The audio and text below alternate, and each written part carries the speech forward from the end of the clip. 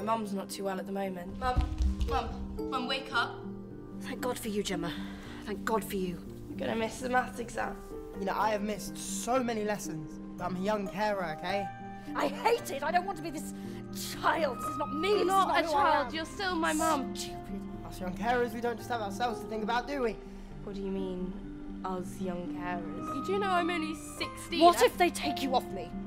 Uh, They should have identified you by now, really. Well, I'm not like you.